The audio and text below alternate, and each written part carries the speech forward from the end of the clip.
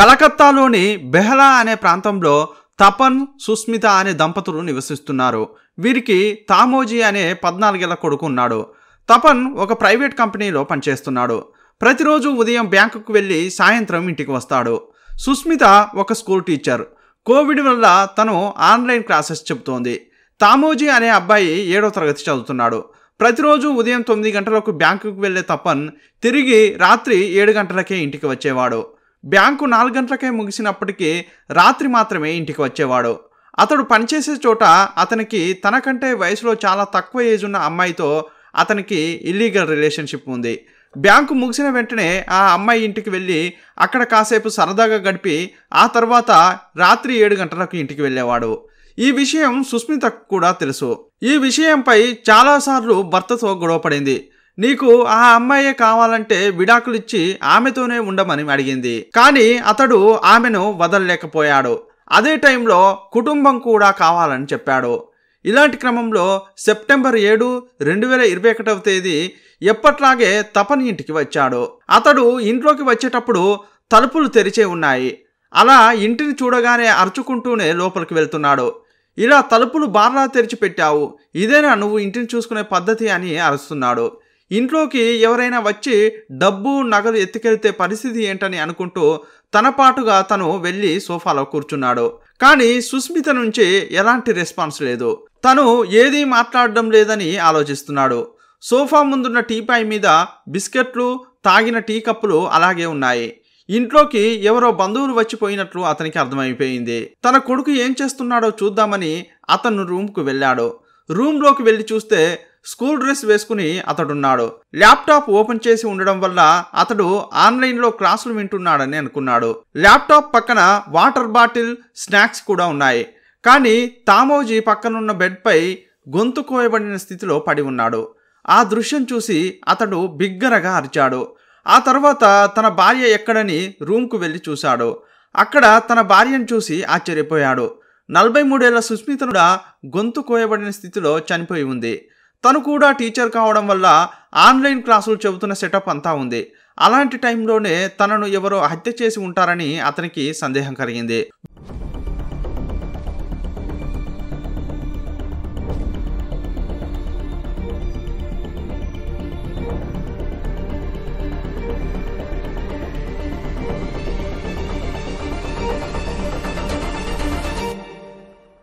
వెంటనే పోలీసులకు ఫోన్ చేసి ఫిర్యాదు చేశాడు. అక్కడికి వెంటనే పోలీసులు వచ్చారు. ఇలాంటి క్రమంలో తపన్ పైనే అనుమానం ఉందని సుస్మిత తల్లిదండ్రులు చెప్పారు. ఎందుకంటే అతడు బ్యాంకులో వేరే అమ్మాయితో ఇల్లీగల్ రిలేషన్షిప్ పెట్టుకోవడం వల్ల వారి ఫ్యామిలీలో చాలా గొడవలు జరుగుతున్నాయని చెప్పారు. బ్యాంకులో ఉండే అమ్మాయితోనే కలిసి బతకడం కోసం తమ కూతురును చంపి ఉంటాడని సుస్మిత తల్లిదండ్రులు పోలీసులకు చెప్పుకొచ్చారు. ఇలాంటి క్రమంలో పోలీసులు మొదటగా తపన్ను విచారించసాగారు. నువ్వే ఈ హత్యలు చేశావా? అని పోలీసులు అడిగారు. తన భార్య కొడుకు అంటే తనకు చాలా ఇష్టమని తను ఇలాంటి పని ఎప్పటికీ చేయనని చెప్పాడు. అతడు చెబుతుంటే పోలీసులకు ఎలాంటి అనుమానం కలగలేదు. మీరు కాకుండా ఈ ఇంటికి ఎవరెవరు వస్తుంటారని అడిగారు. మా ఇంటికి ఇద్దరే వస్తారని అతడు చెప్పుకొచ్చాడు. ఒకరు ఇంట్లో పనిచేసే లేడీ ఇంకొకరు తన కొడుకుకు ట్యూషన్ చెప్పే టీచర్ వస్తారని చెప్పాడు. ఈ ఇంట్లో పనిచేసే లేడీ ఉదయమే వచ్చి నేను ఇంట్లో ఉన్నప్పుడే వెళ్ళిపోయిందని చెప్పాడు. అందువల్ల ఈ సంఘటనకు ఆమెకు ఎలాంటి సంబంధం ఉండి ఉండదన్నాడు. ఆ తర్వాత ట్యూషన్ టీచర్ను పోలీసులు విచారణ చేశారు. తను సాయంత్రం ఐదు గంటలకు ఇంటికి వచ్చి కాలింగ్ బెల్ కొట్టానని ఫోన్కు కూడా కాల్ చేశానని కానీ ఎలాంటి రెస్పాన్స్ లేకపోవడం వల్ల ఇంటికి వెళ్ళానని చెప్పింది. అలాగైతే వేరే ఎవరైనా బయట నుంచి వచ్చి హత్య చేశారా అన్న కోణంలో పోలీసులు ఆరా తీయడం ప్రారంభించారు. తపన్కు బ్యాంకులో ఒక అమ్మాయితో ఇల్లీగల్ రిలేషన్షిప్ ఉందని చెప్పారు కదా ఒకవేళ ఆ అమ్మాయి వచ్చి చంపి ఉంటుందని అనుమానించారు. వెంటనే ఆ అమ్మాయిని తీసుకెళ్ళి విచారణ చేశారు. ఇంతకీ నాకు తపన్కు ఇల్లీగల్ రిలేషన్షిప్ ఉందని మీకు ఎలా తెలుసు? ఎవరో ఏదో చెప్పారని మీరు నన్ను బజారుకు ఈడ్చొద్దని ఆ అమ్మాయి పోలీసులతో వాదించింది. తపన్తో ఇల్లీగల్ రిలేషన్షిప్ అని మీరు నమ్మితే బయట తన పరువు పోతుందని వాదించింది. కానీ పోలీసులు ఏం చెప్పారంటే తపన్కు ఆ అమ్మాయికి ఇల్లీగల్ రిలేషన్షిప్ ఉందని కానీ ఈ హత్యలు తను చేయలేదని గుర్తించారు. పోలీసులు ఈ కేసు విచారిస్తున్న క్రమంలో ఎలాంటి క్లూ దొరకలేదు. వారి దగ్గరున్న క్లూ ఏంటంటే ఇంటికి ఎవరో వచ్చారో వారికి టీ ఇచ్చి బిస్కెట్లు కూడా తిన్నారంటే బంధువులే వచ్చి ఉంటారని పోలీసులకు అర్థమైంది. ఆ టీ కప్లపై ఫింగర్ ప్రింట్స్ సేకరించి ఫోరెన్సిక్ డిపార్ట్మెంట్కు పంపించారు. ఇలాంటి క్రమంలో పోలీసులు సీసీటీవీ ఫుటేజీ కోసం వెతకసాగారు. కానీ వారు ఉంటున్న అపార్ట్మెంట్లో సీసీటీవీ కెమెరాలు లేవు. వారి ఇంటికి సమీపంలోని ఒక వైన్ షాప్ దగ్గర సీసీటీవీ కెమెరా ఉండడంతో దాన్ని చెక్ చేశారు. సెప్టెంబర్ ఏడు రెండు వేల ఇరవై ఒకటవ తేదీ ఉదయం పది గంటల నుంచి రాత్రి ఏడు గంటల వరకు సీసీటీవీ కెమెరాను పరిశీలించారు.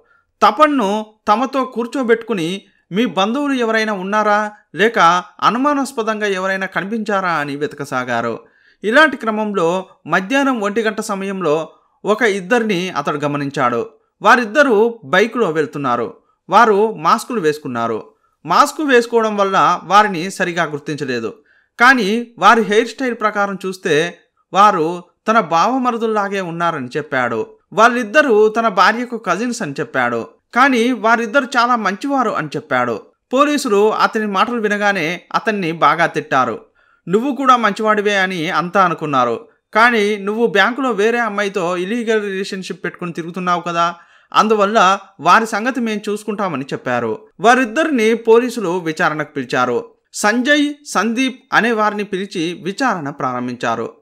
సంజయ్కు నలభై నాలుగేళ్ళు సందీప్కు ముప్పై రెండేళ్ళు సంజయ్ను పోలీసులు విచారించినప్పుడు అతడు చాలా ఎమోషనల్గా మాట్లాడాడు. తనకంటూ సహోదరి ఎవరూ లేరని అందువల్ల సుస్మితనే తన తోబుట్టుగా భావించేవాడినని అలాంటి సహోదరిని చంపుతానా అని బాధగా మాట్లాడాడు. కానీ అతని మాటలు హృదయం నుంచి వచ్చినవి కావని చాలా కృత్రిమంగా చెబుతున్నాడని పోలీసులు గమనించారు. మరోవైపు సందీప్ను విచారించసాగారు. అతడు పోలీస్ స్టేషన్కు వచ్చినప్పటి నుంచి భయపడుతూనే ఉన్నాడు. ఎవరైనా భయపడుతున్నారంటే అతని నుంచి నిజాన్ని ఈజీగా బయటకు తేవచ్చని పోలీసులకు బాగా తెలుసు.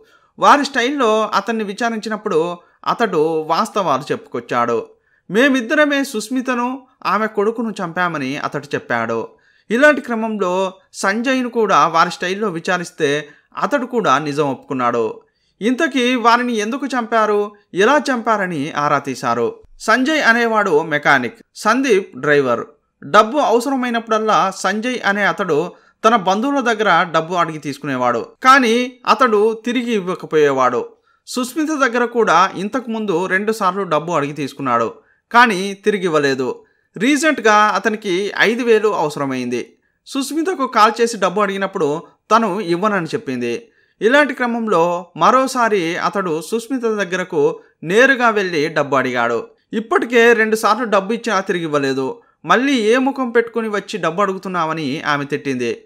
ఆమె తిట్టేసరికి అతనికి కోపం వచ్చింది. తనను చాలా అవమానించిందని తనను ఏదైనా చేయాలని కోపంతో రగిలిపోయాడు. ఇలాంటి క్రమంలో తన తమ్ముడు సందీప్ దగ్గరికి వెళ్ళి సుస్మిత తనను అసహ్యంగా తిట్టిందని చెప్పాడు. తనను హత్య చేయాలని నువ్వు సహాయం చేయాలని అడిగాడు. కానీ సందీప్ మొదట ఒప్పుకోలేదు. ఇలాంటి క్రమంలో అతన్ని వైన్ షాప్ దగ్గరికి తీసుకెళ్ళి బాగా తాగించాడు. ఆ తర్వాత అతన్ని సుస్మిత ఇంటికి తీసుకెళ్ళాడు సెప్టెంబర్ ఏడవ తేదీ మధ్యాహ్నం ఒంటి గంట సమయంలో సంజయ్ సందీప్ సుస్మిత ఇంటికి వెళ్ళారు. తన సహోదరులు వచ్చారని సుస్మిత వారికి టీ బిస్కెట్లు ఇచ్చింది. ఇంట్లోనే ఉన్న తామోజీ బయటకు వచ్చి తన మామలతో ఆడుకున్నాడు. ఆ తర్వాత తనకు ఆన్లైన్ క్లాస్ ఉందని రూమ్ లోపలికి వెళ్ళాడు. ఇదే టైంలో సుస్మిత కూడా టీచర్ కావడం వల్ల ఆమె కూడా ఆన్లైన్ క్లాస్ చెప్పాల్సిన టైం అయ్యింది.